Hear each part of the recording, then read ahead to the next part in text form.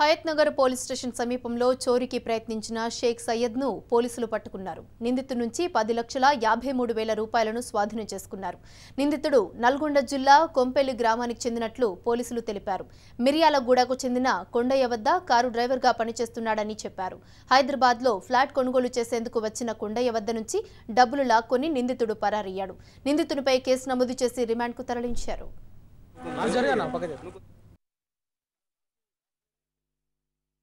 పెద్దమాల కొండయ్య అని ఈయన hardware business ఉంది.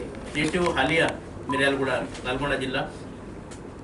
ఆయన ఆయన డ్రైవర్తో ఇక్కడ హయత్ నగర్ వచ్చినప్పుడు కోసం అని భాగ్యలత ఆయా హాస్పిటల్కి వెళ్ళారు.